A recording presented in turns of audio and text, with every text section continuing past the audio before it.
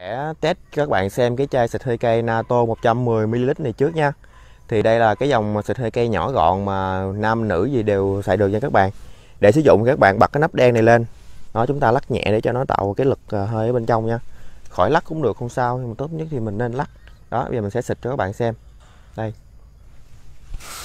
Các bạn thấy thấy, xịt rất là xa nha các bạn. Đó. Xịt rất là xa, khoảng từ ờ, 3 mét đến 5 mét nha các bạn rất là mạnh ha.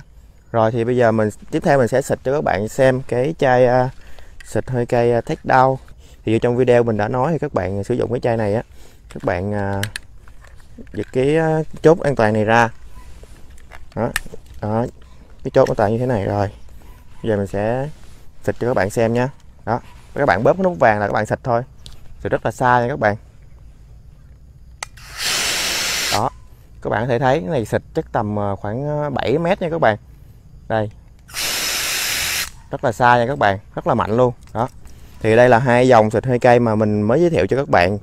Thì đó là cái đoạn mình test cho cái sự uy lực của nó. Thì các bạn mua hàng liên hệ trực tiếp cho mình.